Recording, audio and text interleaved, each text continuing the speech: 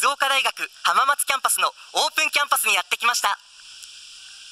あの電気電子工学科の今度はどんな教育をしてるかっていうことですがさっき言いましたように電気電子工学っていうのはいろんなところで使われてるんですね。電気電子工学使われてない分野ないというくらいいろんな例えば電気製品自動車通信電力鉄道、ね、製造機器航空宇宙機器応援機器医療機器もう本当に世の中ありとあらゆるところに電気を使ってない製品っていうのは本当にないんですよね。それくらいたくさんいろんなところに電気電子の卒業した技術者が入ってます。逆に言えばいろんな分野から電気電子の技術者が欲しいってたくさん来てます。後で言いますけど非常にあの求人数としては多いです。ですので学科としてはその要求に応えるような人材を送り出すということになります優勢が飛び込んできたらうまくいいタイミングで飛び込んでくるとあのこの流星と空気の摩擦で電子の塊電子の塊ができてそこでは反射をしますでそれが受信局に届くというそういう現象が起きますでこれが流星バースト通信の原理になりますでそのためにまず、えーと、雷の正常について、えー、知る必要があります。で雷って言ったらまずこういうジグザグに落ちてくるイメージあるんですけどでこれ、と、雲の中の電電荷が、えっと、やっぱり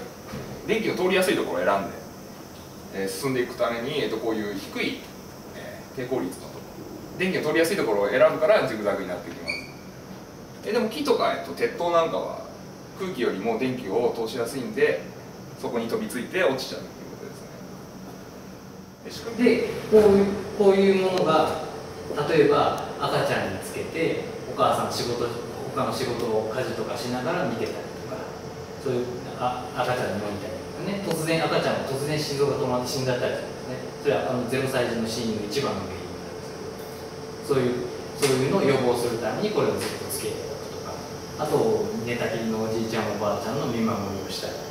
おばあちゃん心臓病になりかかってるとかいうのが分かったり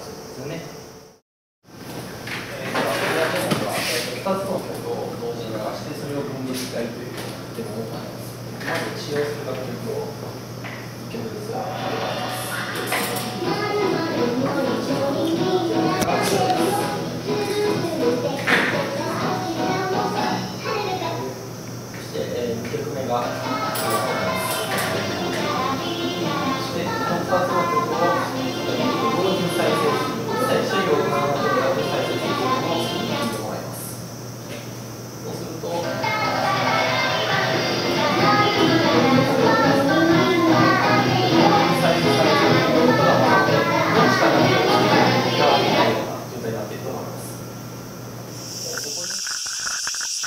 はまず希望の学部学科について教えてください、えー、工学部の電気電子工学科です。はい、えっと、同じく工学部の電気電子工学部です。はい。それでは今日オープンキャンパスに参加されての印象をお聞かせください。あの今日回ったところであの画像編集っていうところもあったんですけどそこのそのやってることが次元が飛び抜けててすごいすごいなって思いましたね。はい。あの同じ同じであの発表するのを研究室で発表するのを全部見てきたんですけどどこもなんかすごい内容で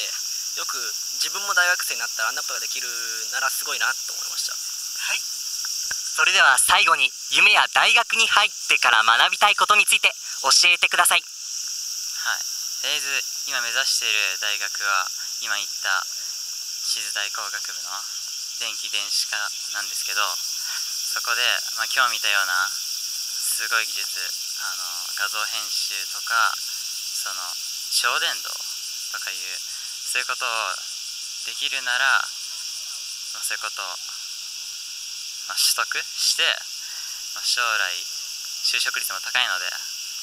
目指したいと思います。はい。えっと僕もあのここに来てなんかいろいろ勉強して学んでその